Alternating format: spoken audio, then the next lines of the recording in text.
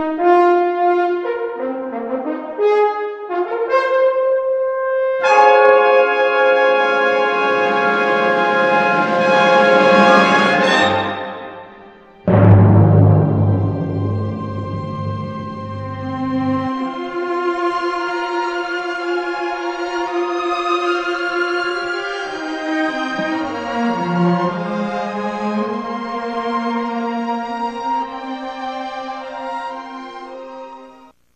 达尔文的进化论提出来以后，很多人就是因为迎合他们的无神的世界观，所以很快就接受了，并不是因为他数据多少，而且有人接受以后就不显余力的去宣扬，而且有的人为了要能够去表明进化论是对的，甚至不惜去伪造证据。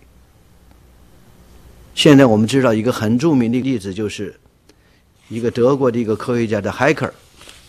他还画了一个细胞图，大家还记得吧？他找了几种啊，找了这个鱼、蝾螈、龟、鸡、猪、牛、兔、人，啊，找了这八种脊椎动物。他说他们来看看，第一期胚胎的时候大家都一样的，啊，你看这个是鱼在这样，呃，这个是人，啊，都有鳃，都有尾巴。一直到了第三期以后，鱼变成了鱼，呃，这个人变成了人。所以呢，从第一期来看。人也是从鱼变来的，这就是著名的生物的重演律，就是说，在一个生物的个体的发育当中，重演了系统发育，这就证明当初人是从鱼变来的，这是很著名的一个一个例子。但是后来一个人类胚胎学家，他就发现，他搞了一个一辈子的人类胚胎，从来没有看见人的第一期胚胎是这个样的。但是他知道这个 Hiker 的图已经风靡全世界，他自己一个人的能力不行，他联合了好多科学家一起来做，搞了一个国际的一个研究小组，用了好几十种脊椎动物来做，最后发现 Hiker 的图根本不对。这后来他们就到 Hiker 原来任教的这个德国一个大学去调查，结果发现很奇怪，在德国的生物学教科书上从来没这个图，但是德国以外的这个国家的教科书上都有。为什么？因为这海克尔的图当时在德国出来以后不久，就发现很有问题。他好多图都是凭记忆画的，而且很多不同东西他都把它去掉，有些门种不同意他就不去掉。那就是相同的这些啊，好多时候他这个比例都可以相差十倍的。实际人类的胚胎是什么样呢？是这个样，第一期在这儿，它有手臂。有腿有内脏，结果他要表明人的第一胚胚胎和鱼一样，结果把手臂、把腿、把内脏全部挖掉，把尾巴延长，就变成海克尔这个图。你看见没？大家看见没？这就是现在我们真是有时候想起啊，上当受骗一百多年都还不知道。所以前不久啊，美国旧金山大学生物系教授钱坤教授。那回到了中国大陆，对中国大陆的有关方面谈了这个事情，有关方面表示希望能够在几年以内把海克尔这个图从生物学教科书上去掉。所以你看，现在很多人还认为我们有尾巴，啊，过去有鳃，从哪儿来？就是从这个图来的，实际根本不是啊。所以你就看得见整个进化论的。整个提出到进化论的推广、进化论的发展，很多时候都是因为信仰世界观的缘故，而不是因为它科学证据的缘故。那么，如果说人不是从猿猴进化来的，人又是怎么来的呢？什么是人呢？我们每个人都希望自己这一生是一个丰盛的一生。有意义的生，有价值的一生。什么是人生呢？那你说很简单了，人生就是人的一生，从出生到死亡这一段时间的区间就叫做人生。那这个也对。可是什么是人呢？大家想过吗？人的定义如何啊？你怎么能给人下一个定义？我们活了几十年了，活了半辈子了，恐怕从来没好好想过。我记得我上大学不久，就就碰见我们一个副系主任，他就问我，他说：“你能告诉我什么叫人吗？”从来没想过，刚进大学。他是副系主任，我也不敢回答。他就说：“我告诉你吧，人就是两根管子，一口气。”我听了似懂非懂，所以他就跟我解释。人就是一根气管，一根食管。因为人活着就要吃饭，人活着就要呼吸，人活着就是一口气，这口气儿上不来了就没了。哎，我心想好像有一点道理，是不是？但是觉得好像人就这么简单吗？怎么就两个管子一口气呀？我再心想呢，也不对呀。猪不也是两个管子一口气吗？牛不也是两个管子一口气吗？那你怎么能够把这个两根管子一口气把它定界是人呢？当然，我是一个学生，我也不敢跟他争论的，我自个儿也说不清楚究竟什么是人。后来我到了美国以后，才发现呢，那有的有的科学家做的更绝了，他有的科有个科学家呀，他把一个。一百四十九磅的人做了一个生化分析。他说：“人没什么了不起啊。”他说：“人大概就是含氧百分之多少多少，含碳百分之多少多少，然后含氢多少，然后有多少的微量元素等等而已。”然后有个前苏联的科学家也是这样，他说呀：“一个人所含的石灰啊，钙呀。”可以把四分之一平方英尺的布漂白了。所含的镁可以供摄影的闪光灯闪一次。所含的磷可以制二千根火柴。所含的铁可以打一根钉子。所含的脂肪可以造七块二百克的肥皂，如此而已。这就是个人。啊！你听了以后心里更感到难受了。那你这人还算什么？你说人不外乎就是这些元素组成的。那你岂不是说你说这个莎士比亚的作品有什么了不起啊？不过就是二十六个英文字母来回倒啊，对不对？如果你把莎士比亚的作品只看是二十六个英文字母，那你说还有什么内涵呢？说今天究竟人是什么？大家从来没有想过。我去年去看这个北京出的商务印书馆出的这个汉语词典，他对人的定义就是：人是什么呢？人是会使用语言、会使用工具、从猿猴进化而来的高级动物。我想这个结论恐怕我们很多人都觉得是对的，但是我前面讲了进化的观点。确实是非常的有问题。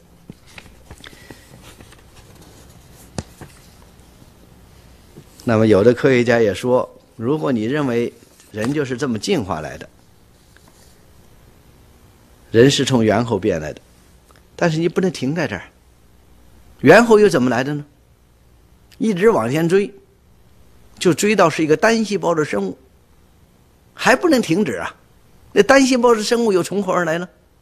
说一直往前追，你最后就会发现，说我们的老祖宗可不是什么北京人，乃是某一种单细胞的生物。但是，最后我们会发现呢，我们的源头，我们最后的祖先，既不是炎黄，更不是老子、孔子、孟子，乃是光子、电子、胶子、夸克，乃是大爆炸以后一团热乎乎的基本粒子。这就是人类的祖先。那也就是说，人来到这个世上完全出于偶然的机遇。那人死了以后往哪儿去呢？说人死如灯灭，什么都没有了，对不对？什么都不存在了，就这一瞬间。如果说人来到世界完全是出于偶然的机遇，完全没有任何目的，人死以后又归于虚无，什么都没有，那人生还谈什么意义呢？人活着不就跟狗、跟猫、跟猪、跟所有的动物一样，有吃有喝过了就完了吗？那还谈什么意义呢？你谈那个意义本身不就很没有意义吗？是不是？大大家今天都在追求生命的意义，说明生活、生命本身是应该有意义的。但是因为解决不了人怎么来的，人死以后往哪儿去，所以对人生的看法就完全没有答案了。人活在世上究竟为什么？所以有人曾经问过大哲学家罗素，说：“请问，你觉得人生的意义何在呀？”结果罗素听完以后耸耸肩膀，他说：“你问我人生的意义何在，又有何意义呢？”哇，他那些追随者很高兴呐。他说：“你看这个大哲人是多回答的多么机警，多么幽默。回答什么？什么都没回答。还有人说，这好像是一个中学生在上几何课以前，在黑板上写了一首打油诗似的。他说：‘人生在世有几何呀？何必苦苦学几何呀？学了几何又几何，不学几何又几何呢？问了半天几何，也不知道是几何。’”所以你没想到一个大的哲学家居然对人生的看法是这样一个回答吗？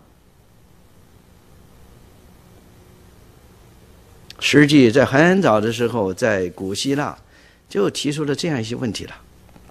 在古希腊的神话当中，有一个 King Midas，就是这个米达斯国王，他当时呢就问这个当时很著名的一个哲学家叫做斯勒内斯。他就发出一个问题，他问他：“生命中最好的是什么？”这个哲学家回答说：“这个问题你最好不要问。如果一定要问，答案是最好不要出生。如果已经出生，次好的就去死。”就这么一个回答，根本不知道人生意义的何在。所以很多的存在主义者。找不到生命的意义，最后就是说，我们就是吃吃喝喝吧，因为明天我们就这样死去。所以讲呢，人生的目的就是好好的思想享乐。为什么？因为总有一天我们会走向死亡。当代有一个哲学家，而且当对对美国的这个这个嬉皮士运动哈有很大影响的一个哲学家，他就说过，他说生与死。均无可无药可治，尽情的享受中间这一段吧。生和死你都没办法去控制去掌握的，就中间这一段你好好享受得了。是这样，或者出现了啊所谓的一些享乐主义。你看，我们知道美国有一个文学家啊，这个海明威。海明威最后因为写了《老人与海》，最后获得诺贝尔文学奖。那么海明威本人有了这么大的成就，而且他本人呢，就是最喜欢打猎，喜欢看西班牙斗牛，所以最后他的他的六十岁生日就是在西班牙过的，当时就是给他盛大的祝寿啊，也看了西班牙斗牛。你说取得这么大一个成就，得了诺贝尔奖金的一位，但是最后他的结局怎么样呢？最后有一天，他在他的家里。把他最喜欢的一个双筒猎枪查的血量，然后怎么样？把枪托、枪口冲上，枪托放在地板上，枪口这么冲上，然后这样低下头去，让自己的嘴进到这个双筒猎枪里边，然后一扣动扳机，把整个大半个头炸掉。海明威这么死的。你说这么有名望的一个作家，有这么高的成就的作家，怎么会这么死？你说也许，啊，搞文学的思想比较浪漫，啊，有时候想不开。也许学科学的人会好一点吗？实际上会发现，学科学的人也是如此啊。有一个科学家，曾经得过诺贝尔奖金的，那么他在有一次讲话的，他就说，是一九五四年的物理学得奖。他一次公开宣称，他说什么？他说：“我虽然喜爱科学，但我思考的结论却是令人沮丧的。理由不仅是一场核子大战爆发，而毁灭一切生命的可能性越来越大。即使这场大灾祸可以避免，我对人类只能看到一片暗淡的未来。我虽然喜欢科学，但是我有一个感觉，即……”科学并不能被人类吸收，据我看来，人类是没有什么希望的，啊，这是诺贝尔奖金获得者讲的。另外一个诺贝尔奖金获得主，一九八五年曾经说过，他说：“我现在是一个老人了，我的生活曾多姿多彩，但在所有事件的背后，我从未发现任何目的。”即或这个世界有其存在的原因，那就是存在是毫无意义的。你说有时候真是觉得很让人惊奇了哈？为什么这些有名的名人，而且取得这么大的成就的人，对人生是这样的悲观呢？我们大家也知道居里夫人，居里夫人在科学上是非常杰出的。居里夫人曾经一生两次获诺贝尔奖金，实际上整个诺贝尔奖的历史上是独一无二的。你想一个人一辈子能够获一次诺贝尔奖金，那真是一生的殊荣啊！或者不能够得诺贝尔奖，哪怕诺贝尔提名奖，也是很大的光荣。那居里夫人是一生获两次诺贝尔奖金，因为从我们现在知道的，除了美国的一个物理学家叫巴丁。他先在一九五六年，因为开发这个这个锗的这个电晶体而与另一个人同得了诺贝尔奖金以后呢，于一九七二年又以超导理论再一次获奖。那第一次他和别人合作，那唯独居里夫人是自己两次得诺贝尔奖金，这是在整个诺贝尔奖史上是是独一无二的。而且居里夫人本人一生也是非常的贫穷。为什么居里夫人这么贫穷呢？是因为他没有用他的发明来申请专利。他发明了镭嘛，哈，他没有申请专利。所以有人说爱迪生因发明而致富，但是发明了镭、发展出萃取镭方法的居里夫人，却一生受困于贫困。当别人问他为什么不申请专利的时候，他说。人类积累的智慧应该由人类共享，我不想占为私人所有。所以你就看见，所以居里夫人本人应该是品德也非常高尚的人。但是像这样一个品德非常高尚，而且又在科学上取得这么重要成果的人，但是他最后的人生怎么样？居里夫人的晚年是非常悲惨的，非常悲惨。你说从他给他的亲戚的很多的这个书信里边，你能看得见。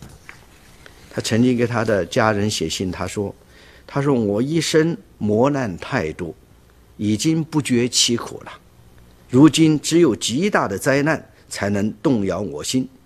我学会了认命，努力在灰暗的日常生活中。”寻找一些小小的乐趣。我告诉自己，我可以建造房子，可以种树拾花，看着他们成长，其他的什么都不想。我的余日无多，何必自苦呢？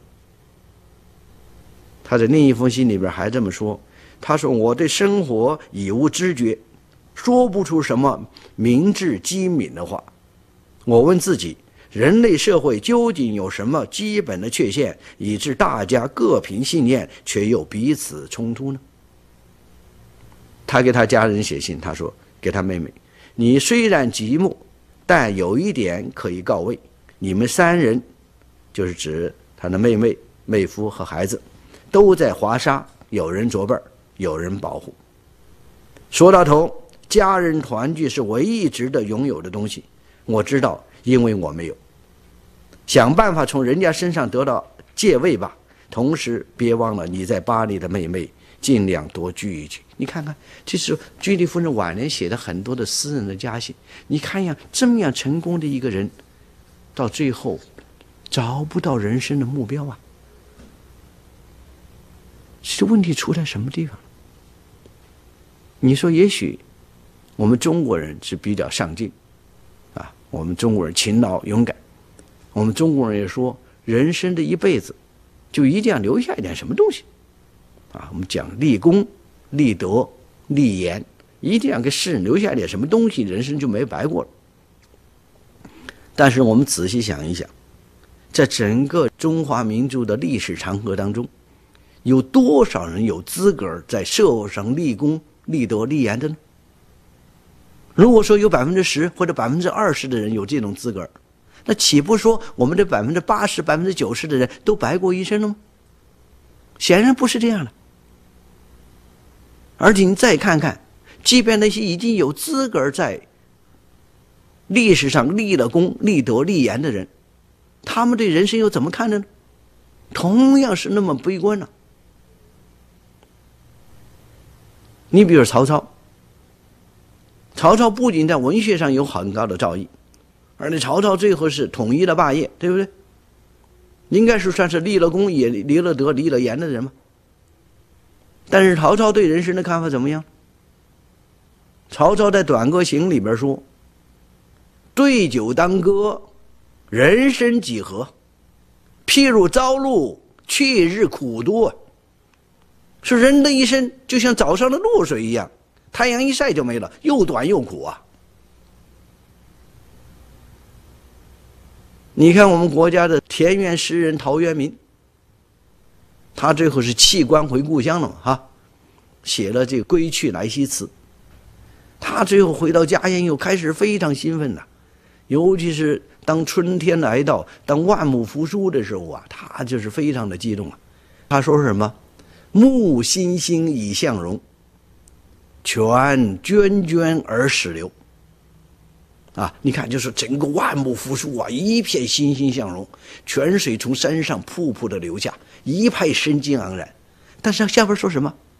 善万物之得时，感悟生之行休。你看见万物都开始复苏，突然悟到自己的生命已经快要到终点了，马上悲从中来。你说这些人读到一些我们自己国家，你就发现里边就隐藏了一些完全人们一种深深的悲哀、一种惆怅和空虚。我们近代的中国人并不是不追求啊，我们的努力的向着一个目标前进。当快要达到这个目标的时候，突然发表这个目标消失了，我马上去调整自己，再奔向另外一个目标。刚要走到的时候，又发现又不行了。又再调整再去，转换急转之间，人的一生就过去了。我想我不用详细讲，大家心里都清楚。找不到一个永恒的、可以永远奋斗下去的目标，找不到人生的定向在什么地方。另外，人的本性如何呀？人之初是性本善还是性本恶呀？这个问题一直是争论不休啊！西方世界是说什么的都有。荷兰的一个哲学家伊拉斯姆，他就说：“一个人对他人若不是神，就是狼。”另外，古一个古希腊哲学家说：“诸神是不朽的人，人则是会死的神明。”反正就这么说啊，来回串了。然后有人说，人的一半是魔鬼，一半是天使。你会发现，反正人性当中好坏全都有啊，好像一会儿像天使，一会儿像魔鬼似的。孟子他自个儿就说：“人之初是性本善的，是不是？”讲到人性的时候，还讲的是性本善。他就是说，人生下来他就有性善的部分，他的性善就表现在他的仁义礼智，啊，这是他性善的本质。这些性善的本质是从哪儿开始的呢？就是开始于人皆有之的恻隐之心、羞恶之心、恭敬之心和是非之心，所以生下来就是这些东西了。但是因为后天的环境有恶，所以呢，人就容易变坏。所以近朱者赤，近墨者黑。所以最后有孟母三迁，啊，他妈妈搬了三次家，都希望自己的邻居好一点，所以让孟子能够学好了啊。但是另一派说，荀子的说法就完全不一样。荀子说：“人之初，性本恶。”他有他的根据啊。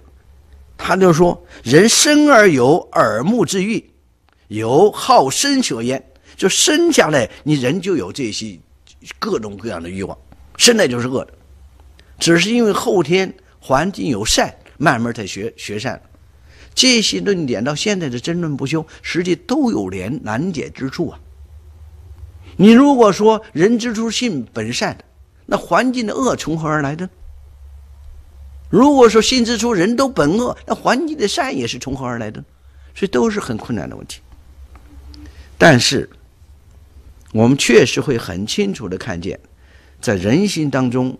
确实有善和恶同时的存在。我记得文化革命一九六六年开始的时候，当时我正在北京大学。后来北京就兴起了红卫兵运动。那北京的首都的红卫兵呢，专门还有一个组织叫联合行动委员会，简称联动。这联动就专门去扫四旧啊，打砸抢。结果到了一九六六年的十二月份，北京有一所中学，这群中学的红卫兵，他们怀疑这个中学传达室的这个工友，一个老工友，怀疑他是暗藏的特务还是反革命。最后怎么办？把这个老人拉到他们的露天的广场操场上去，把棉袄棉裤脱掉，只剩下很单的内衣内裤。北京的十二月份已经非常冷了，那怎么办？把一桶烧开的开水从老人头上浇下去，然后把一桶冰凉的凉水再浇上去，然后再一桶开水，一桶凉水，反复这样浇，直到把这个老人活活的浇死，最后老人的皮都脱下来。因为这件事情是那么残酷。所以最后在北京市通报，所以我本人是在这个通报里知道，当时对我心里的震撼，是很难用语言来形容的。你说你怀疑他是特务，是反革命，你可以把他送交公安机关，对不对？甚至你说你出于所谓的革命的义愤，你骂他几句，打他几下，踢他几下，都还可以理解的。你怎么能够下的这样的毒手，把活活的用这样残酷的手段把一个人这样折磨死啊？而且更让我震动的是什么？做这种事的人，居然是一群十几岁的天真烂漫的孩子。你就会觉得，在人的心中有一种极凶残的、极黑暗的一种东西，一旦当环境。许可的时候，他就暴露出来。但是什么？我说不清楚。到六七年，北京大学也爆发武斗，半夜，一派的人突然冲冲到另一派人这个住的宿舍去，拿着刀刀大刀长矛，让他们离开。你稍要讲理，大刀长矛就上去了。那正是北京的三月份呢。但人逼着就没办法，穿着背心裤衩就从二楼、三楼往下跳啊，夺路而逃。那我们听见以后都半夜了，赶过去看以后就看着这人往下跳，我赶紧去接他们、救他们。有的眼睛都快出来了，有的浑身是血，那根本就没有办法呀！这么多人受伤，怎么办？我们没办法，最后就好多人，我们就跑到这个这个北大的南墙南校门外边的海淀路，就去拦汽车呀。凡是有车过来就堵住，赶紧让他们把这个伤员呢，就从往医院里边去送过去。有的伤员我被搀住了，都是肝部被刺伤，那个血就像泉水一样往外冒。我那一夜就在帮助这运伤员，他们都以为我死了。第二天早上我来回，整整一宿，全身都是血。当时我心里也是震动很大。你说两派仅仅因为观点不一样，在对方毫无威胁你的生命安全的情况下，你怎么可以下的这样的毒手，去把你自己的同学就就这样去伤他们呢？我也想不通啊。而且你要再放大一点，整个文化革命十年，可以是说是人性的大暴露。你过去还可以装一点假了，三天五天一个运动呢，你还可以装到假，这个一下十年了，你装都装不出来了。这大雕都是按照自己的本相在做呀。你看多少丑恶的现象，我本人也不例外啊。我虽然自认为没有做什么伤天害理的事，但是当时为了紧跟，为了表示自己革命，也说了好多违心的话呀，也做了好多违心的事情呢。这个都是人心那个以自己为中心、那个私利的一个大的暴露，没有一个人可以隐藏得住。所以文化革命以后，国内又兴起一种伤痕文学。啊，就是写文化革命的那些哈遭遇的苦难。那我在出国以前，我也读到一本一个女知识青年写的一本书，这个书的名字我都忘了，但是呢，我记得很清楚，她是下放到黑龙江生产建设兵团去去的知识青年。他这本书的一个主人翁呢，就是部队一个营长，这个营长。有一次在部队山火爆发，就是这个发生山火的时候，是很多的知识青年都困在这火里出不来。结果他不顾生命的危险，几次冲到火海里边，把知识青年一个一个抢救出来。他自个儿最后烧得遍体鳞伤，最后是得了全军的通令嘉奖。但是谁都没想到，他最后结局是什么？被枪毙了。为什么？是因为他最后立了功以后居功自傲，然后强暴了很多女知识青年，最后被揭露，送上军事法庭审判，枪毙。说这个作者啊，在最后这个小说的后边的跋里边，他就问了一个非常震撼人心的问题，他说：“为什么善和恶这样集中在一个人的身上呢？”他当初可以把命都豁出去去救人，最后又犯下这样的滔天的大罪。他没有答案，我也没有答案。我是带着这样一个沉重的问号来到美国的。直到有一天，我开始读圣经，我认识了神，这个答案才出来。所以。从这些问题你会发现，人从什么地方来的？人的本性如何？人将来要到什么地方去？人活在世上这百十年究竟要干什么？这些问题是人的最基本的问题，但是这些问题已经超越了人自己的智慧，你很难从人自身得到答案，除非从上边更高的智慧。从创造物主创造我们的那那一位，你能够得到的启示，你才知道人为何为人，人生的意义如何，人从什么地方来，将来要到什么地方去，人性如何，这些问题，你一读圣经，全都有清楚的答案。人是什么？圣经讲的很清楚啊。如果大家有机会读圣经，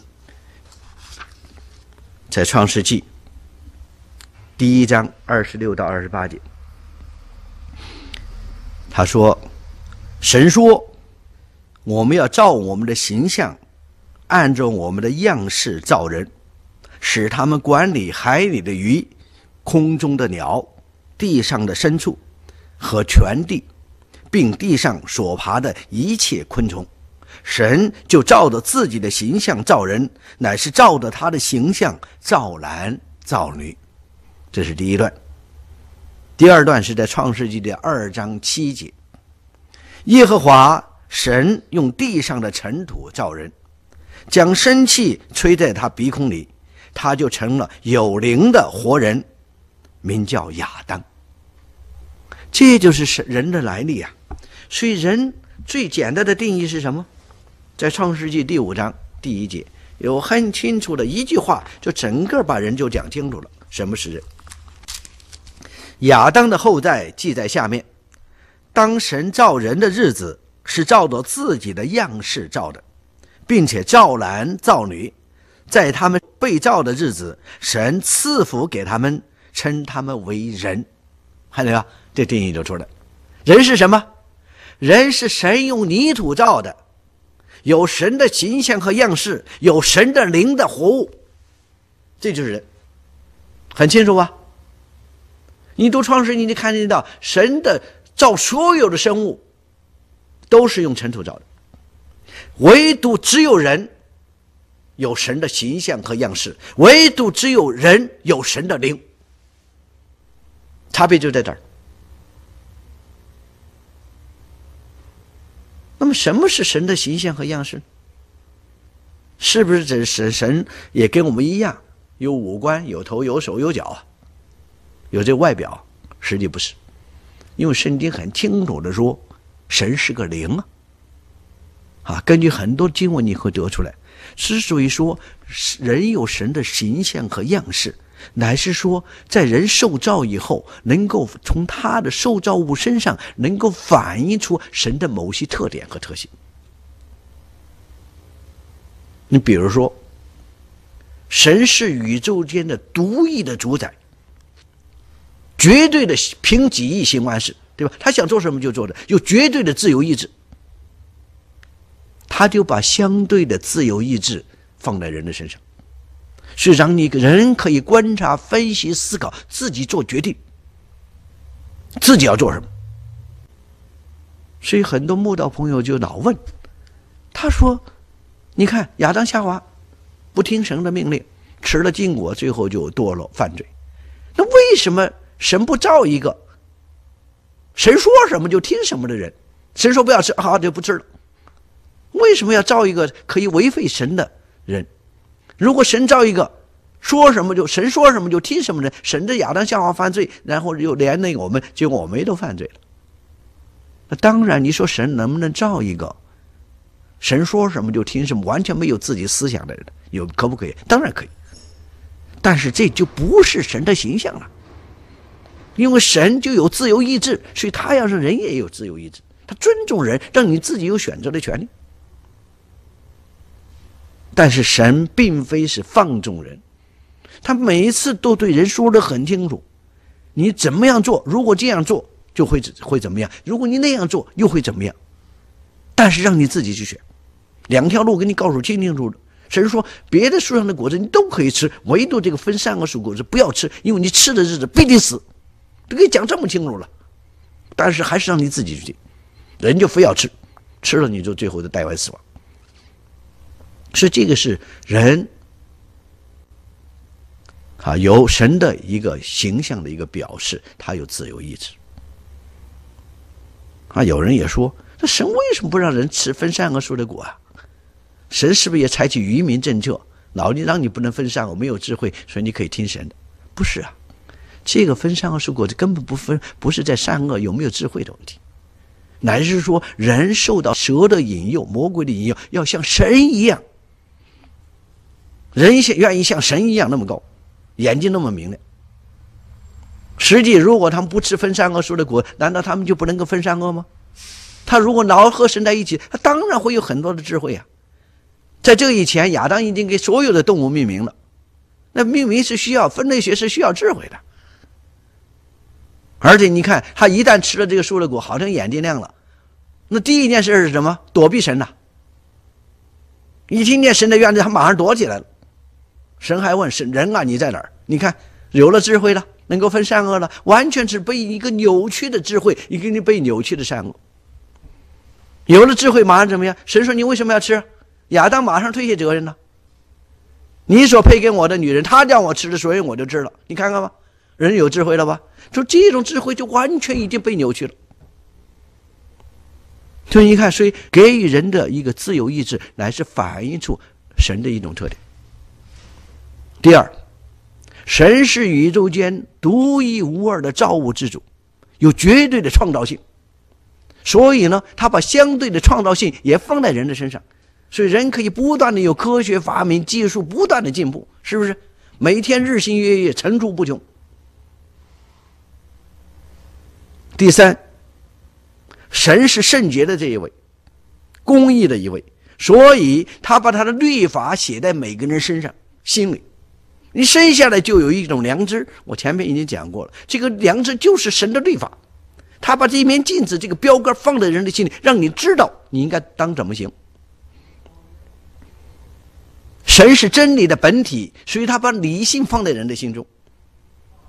你可以观察、分析、逻辑思维，去认识客观世界。神是个灵，所以他把他的生气吹到人的鼻孔里，使人成为有灵的活人。神是永恒的这一位，所以他把永生安置在世人心里。所以传道书说啊，神造万物各按其时成为美好，又将永生安置在世人心里。所以人生下来就追求永恒，生下来因为有神的灵，就追求和神的关系，永生神的关系。这些无不是神的特点的彰显。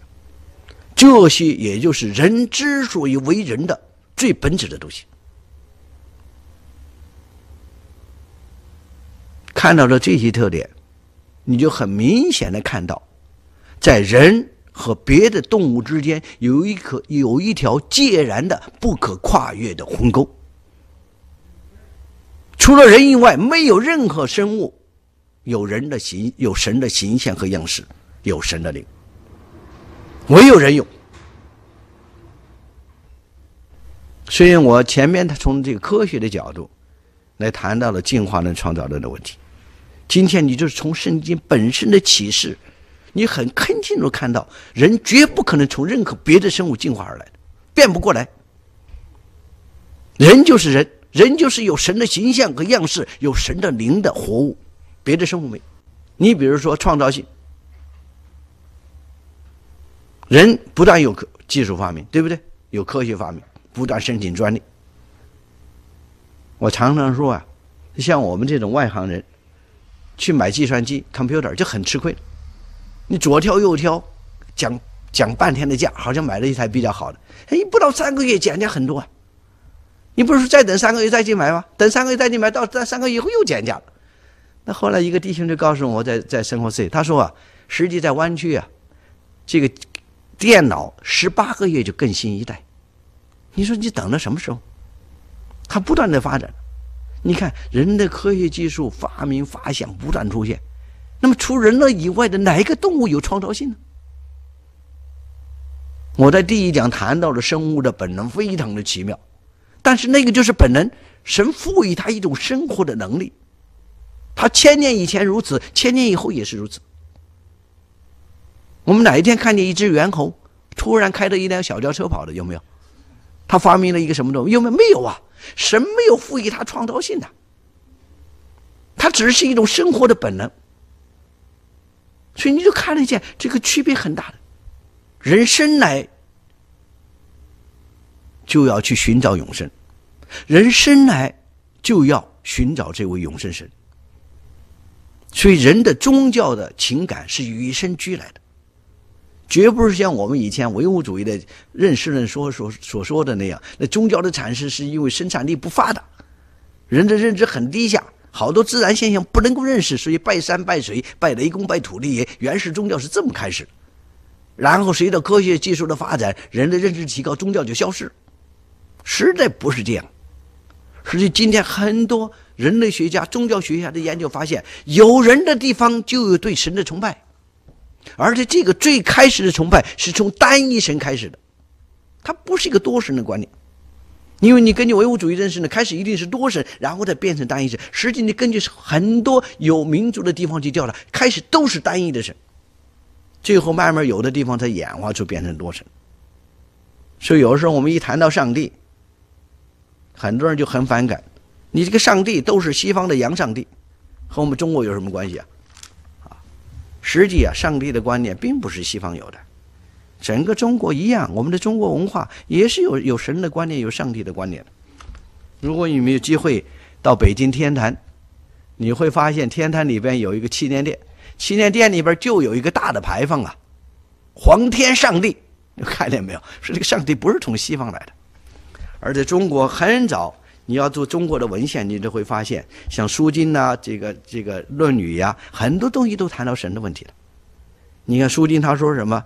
他说：“为神不长，做善降之白祥，做不善降之百殃。”也就是说，神也是琢磨不透的。但是你做善事的时候呢，他就会把祝福降给我们；你要做坏事那灾祸就降下来了，是不是？我那天谈到的孔子的《论语为政》当中说：“他是勿使有武而志于学，三十而立，四十而不惑。”五十而知天命，六十而耳顺，七十而从心所欲不逾矩。他这五十而知天命，这个天绝不是一个物质的天，那是知道上面这一位。所以孔子是经常祷告的一位。所以大家如果有机会去读他的著作，你会发现他非常敬神，他只是觉得自己没有能力去认识这些东西，他才谈到了敬鬼神而远之，并不是他不相信这些东西。啊，他属于他最后是不求天道，退而求其人道，但他本身是很敬神。那孟子也是一样啊。孟子曾经在告子里说了，他说：“天之降大任于斯人也，必先苦其心志，劳其筋骨，饿其肌肤体肤，空乏其身，行拂乱其所为，所以动心忍性，真义其所不能。”他讲的天之将大人于斯，这个天绝不是一个一个一个抽象的物质，他那是知道这上面这个至高至大者的。那老子的《道德经》那当然就更清楚了。远志明弟兄还专门写了一本专著谈这些问题，他就知道整个万物道是万物之母，万物都是从这个道来的，但是道他只是说不清的，你看也看不见，听也听不见，你传也传不住啊。但但是知道有这么一位。所以你看，你从整个我们祖先所留下的东西，你就看到关于神的观念，整个全世界都有了，中国也不例外。他就知道，在整个祈年殿啊，整个天坛就是皇帝每年呐一次或者两次向神献祭的地方。所以在皇帝献祭的时候，他是也是有祷告的。这个我看见一本书上就是这个。上帝给中国人的应许，他就引了一段这个大明会典当中啊，这个当时神的祷告词。当然，神的祷告那个都是用的那个古文了啊。他把这古文翻译了一下，他就说皇帝是这样祷告的，怎么说呢？他说：“创造宇宙的主宰，我仰望您，您所住的穹苍是何其广大呀！我是你卑微的仆人，以此一事来敬拜您。”我就像柳条般的柔弱，我的心如蚂蚁般的渺小，可是却蒙了你的厚爱，承接你的旨意，成为一国之君。我深深的觉得自己无能、愚笨，不配接受这个使命。我生怕辜负了您的大恩大德，所以一定要遵守您的旨意。尽管我是微不足道的人，但我愿意竭尽心力来效忠您。我遥望你天上的宫宇，祈求您能乘着天上的宝车来到这个祭坛上。您的仆人就在您面前下拜，期待您的到来。我与随行的武功贵族们都在您面前欢喜的敬拜。上帝，求您悦纳我们的祭物。看顾我们，我们都敬拜您，因为您的恩泽永无止境。你看这个祷告像不像基督徒的祷告？哎，差不太多了啊。人的心是相通的，这是皇帝的祷告词。所以我们就谈到人有神的形象和样式。所以有人说，人生活在什么地方？人就是生活在有限和无限的相交处，就生活在暂时和永恒的相交处，生活在灵界和物质界的相交处。这就整个人的定位就定在这儿。这个是人之所以为人困难的地方，也是人之所以为人最有价值的地方。所以，如果我们从知道神是有把他的形象给了我们，那我们就比较清楚人的定界，人绝不可能是从别的生物演化来的。人是直接从神按照他的形象和样式造成，而且这形象很清楚，你的看起来和别的动物不一样，是不是？所以你今天从哪一个角度来看，神的创造都是有很多很多的根据。当然，神这样造了我们，你马上就会问：人性如何啊？人之初，性本善还是性本恶呀？你一读圣经，全明白了。那就是看你说的这个人之初是指哪个之初。当你说的人之初是指上帝造人的那个之初，性本善。为什么？因为神按照他的形象造了亚当和夏娃以后，第五天前几天神的创造，神看的是好的，就是第六天造了人以后，神看的甚好。为什么？因为只有万物当中只有人有神的形象，甚好，当然是好的。但是你如果说这个人之初是人从羊的肚子里生出的那个之初，人之初性本恶，因为人犯罪以后，所有的人都是罪人。所以大卫说：“我在母亲的肚子里就已经有罪了。”所以你看清楚不清楚？一清二楚啊！那人活在世上干什么？人活在世上的意义是什么？人活在世上的目的？就是要荣耀神，是在以赛亚书四十一章就说：“凡在我名下受造的人，都是为了荣耀我的名而造的。”所以人生的最高目的是什么？去荣耀神，去享受神的同在。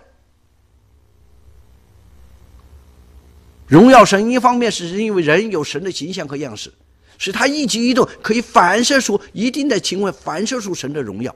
另外，神让人分享神的权柄，管理地上的万物，做他在地上的管家，就代理神的权柄。所以，整个人在神的眼里是非常重要的。当太空人登上这个月亮的时候，他们情不自禁的看见宇宙这么浩瀚，人这么小，为什么神还这么眷顾人呢？所以他们上了月亮以后。就在月亮上朗诵诗篇第八篇第三节，他说：“我观看你指头所造的天，并你所陈设的月亮星宿，便说：人算什么？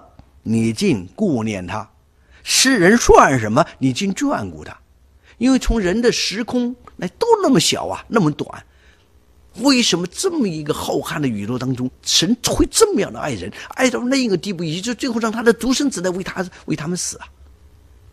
所以发出这样的感叹不解呀。但是你再往下看呐，第五节他说：“你就指神了，你叫他比天使微小一点，并赐他荣耀尊贵为冠冕。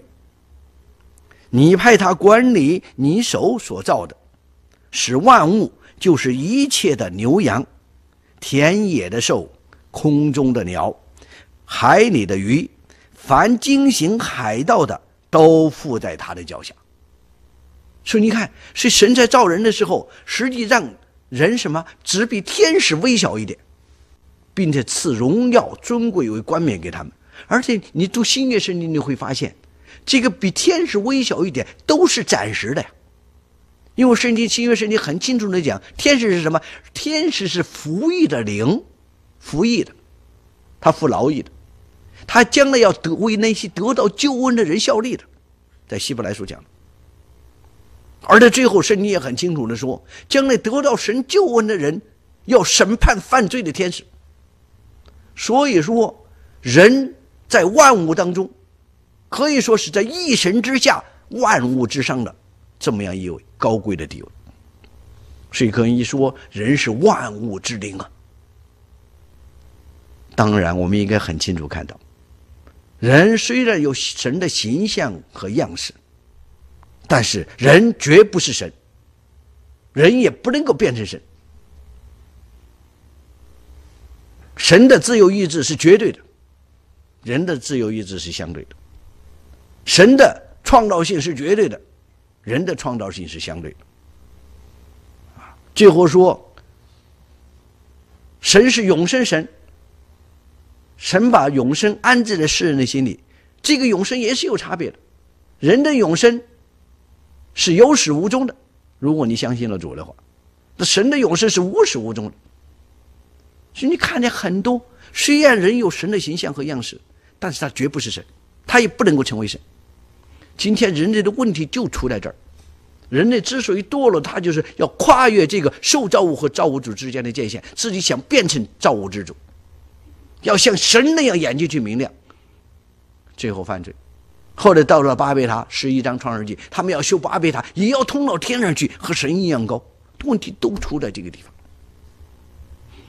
所以有神的形象，并不表明是神。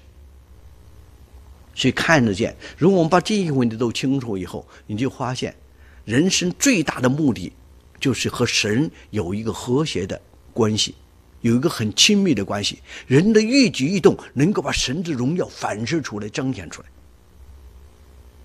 所以人生的最大的乐趣，乃是和神同在。享受和神同在的一切的丰盛、一切的光明、一切的美善，这个就是人之所以为人的一生。人生的目的，人从什么地方来，将来到什么地方去？人活在世上一辈子要干什么？人生的最高目的是什么？我们通过读圣经，全都明白。所以我们说，人是万物之灵。这不是说因为我们的智慧、我们的理性达到一个什么程度成万物，那是神是这样造我们的。他把他的属性、把他的生气吹到人的鼻孔里，就一切都是源于神的。但是反过来说，如果人用自己神给我们的自由意志去决定要反对神。那最后的结果就是离弃神，最后的结果就是表明神和人的关系的断绝。那我们知道，人的一切都是从神来的，人的一切目的也是为神而活。当我们人犯罪堕落以后，人和神的关系断绝以后，你人就失落了，你不知道怎么来的，也不知道在世上要干什么。是从根本上，人就失去了生活的目标和意义。你不管怎么做，你怎么去努力，你找不到这一条路。你说也许你在外边非常的成功，但是你内心会很清楚的告诉你，这个不是你人之所以为人的这一生。就是关键问题是在于人和神的关系。所以，很多哲学家都是这样讲啊，苏格拉底都讲过呀。人的最高目的就是认识神，所以今天我就觉得我们在整个科学技术的发展当中，我们把人的理性、人的地位抬得太高了，高到以至于人要取代神的地位，人要做神，人不再去遵守神的话语，那这样的话，人就从根本上失落。是今天整个社会的问题，人类的问题都出在这儿。我想现在是时候了，让我们能够回归真神，回归神的教训的时候。好，谢谢大家。